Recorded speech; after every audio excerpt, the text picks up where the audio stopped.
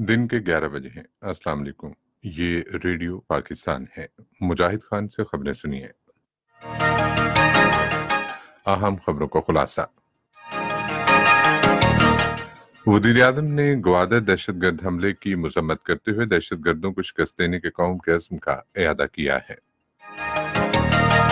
خیبر پختونخوا حکومت نے آئندہ مالی سال میں صحت انصاف کارڈ سہولت کو صوبے بھر میں توسیع دینے کا فیصلہ کیا ہے۔ مقبوضہ کشمیر کے ضلع شپیہ میں بھارتی فوج نے آج اپنی ریاستی دہشت گردی کی تازہ کاروائی میں دو نوجوان شہید کر دیے۔ پاکستان کے انعام بٹ نے برازیل کے شہر ڈی جنیرو میں بیچ ریسلنگ ورلڈ سیریز میں چاندی کا تمغہ جیت لیا ہے۔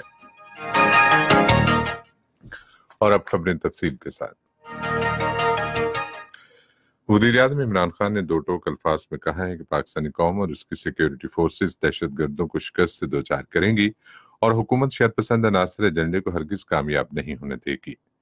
گوادر میں ایک ہوٹل پر دہشت گرد حملے کی مذمت کرتے ہوئے وزیر اعظم نے انسانی جانوں کے بڑے نقصان پر ناکام بنانے میں سیکیورٹی گارڈ کے ابتدائی رد عمل اور سیکیورٹی فورسز کی جوابی کاروائی کو سراہا۔ انہوں نے کاروائی میں شہید اور زخمی ہونے والے سیکیورٹی اہلکاروں کو شاندار خراج تحسین بھی پیش کیا۔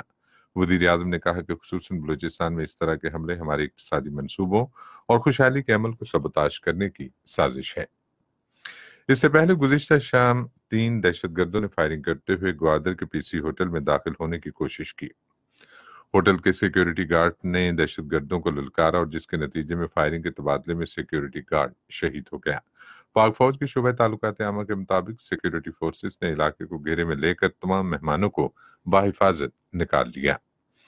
سیکیورٹی فورسز نے دہشت گردوں کو آخری منزل پر لے جانے والی سیڑھیوں میں گھیر لیا اور آخری اطلاعات آنے تک کلیئرنس آپریشن جاری تھا۔ وزیر اعظم عمران خان نے کہا ہے کہ حکومت غریب عوام کو علاج معالجے کی معیاری سہولیات کی فراہمی یقینی بنانے کے لیے سرکاری ہسپتالوں کی اصلاحات کے اقدامات میں کسی قسم کی رکاوٹ برداشت نہیں کرے گی۔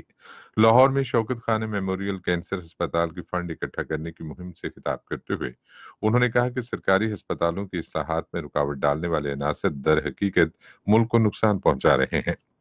وزیر اعظم نے کہا کہ اصلاحاتی عمل کے تحت اچھے ڈاکٹروں کو مناسب تنخواہیں دی جائیں گی اور بہترین ٹیلنٹ کی خدمات حاصل کی جائیں گی۔ انہوں نے یقین دلایا کہ حکومت سرکاری ہسپتالوں کی نجکاری نہیں کرے گی تاہم غریب لوگوں کو معیاری خدمات کی فراہمی کے لیے ہسپتالوں کے انتظامی ڈھانچے میں تبدیلیاں لائی جائیں گی۔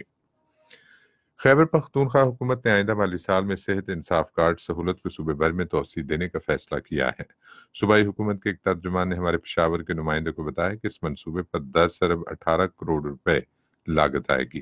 ترجمان نے کہا کہ صحت کارڈ کے حامل خاندان ستائیس سرکاری اور انسٹھ نجی ہسپتالوں سمیت صوبے کے چھیاسی ہسپتالوں میں مفت علاج کی سہولیات حاصل کر سکیں گے۔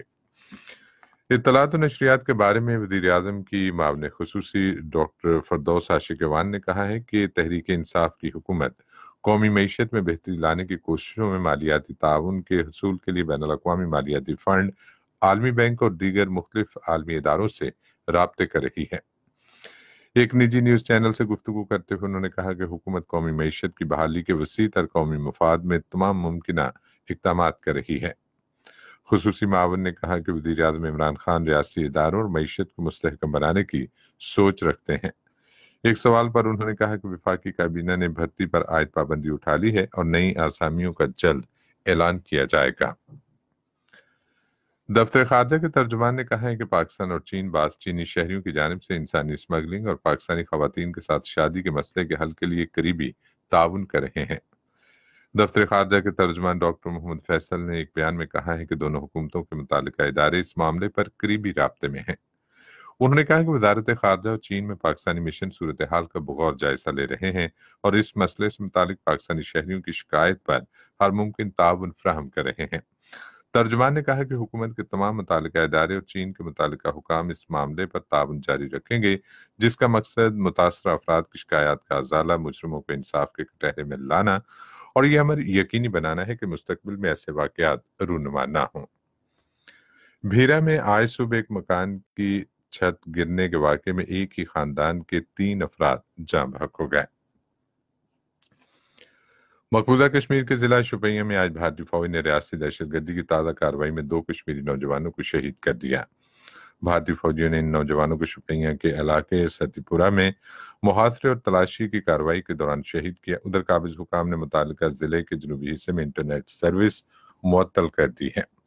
ممتاز شاعر سید ضمیر جعفری کی آج بیسویں برسی منائی جا رہی ہے۔ ضمیر جعفری جنہیں بابا ذرافت کے نام سے جانا جاتا ہے، اپنی اردو کی مزاحیہ شاعری اخبارات میں کالم نگاری اور مزاح نگاری کے باعث مقبول ہوئے۔ برازیل کے شہر ریو ڈی جنیرو میں عالمی بیچ ریسلنگ سیریز میں پاکستان کے انعام بٹ نے چاندی کا تمغہ حاصل کیا ہے۔ وہ مقابلے کے فائنل میں جارجیا کے دتو مرگشولی سے دو صفر سے ہار گئے۔ برازیل میں چاندی کا تمغہ حاصل کرنے کے بعد انعام بٹ امریکہ کے شہر سنڈیاگو میں اکتوبر میں ہونے والے عالمی بیچ گیمز کے لیے کوالیفائی کر گئے ہیں۔